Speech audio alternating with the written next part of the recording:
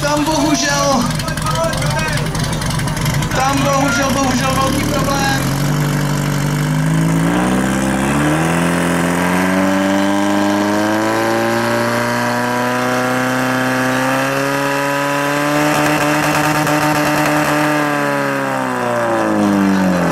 Požární útok v čase bohužel nemoc slavném, každopádně A to je já váš- doufám, že se alespoň